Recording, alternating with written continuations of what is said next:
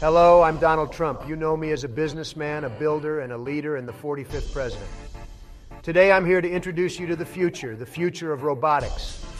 At Trump Robotics, we've assembled the brightest minds, the most advanced technology, and the best ideas to create something truly remarkable. Our robots are taking on the world in ways you've never seen before. They're not just machines, they're the future workforce. And now, introducing our female sex robot companion. It's the most incredible creation we've ever made. We also have the Ivanka robot, a robot that looks similar to my daughter Ivanka.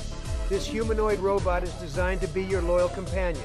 It learns from you, understands your needs, and adapts to your lifestyle. Imagine having someone by your side 24 7 who's always there for you like a true friend. But it's not just about the Ivanka companion. We've got robots for everything from manufacturing, making our industries more competitive, to healthcare, saving lives with precision and expertise. Our robots are building the future, quite literally. They're transforming how we live, work, and explore the world around us. So join us in shaping the future with Trump Robotics at the forefront of it all. Together, we'll make America great again in robotics and beyond.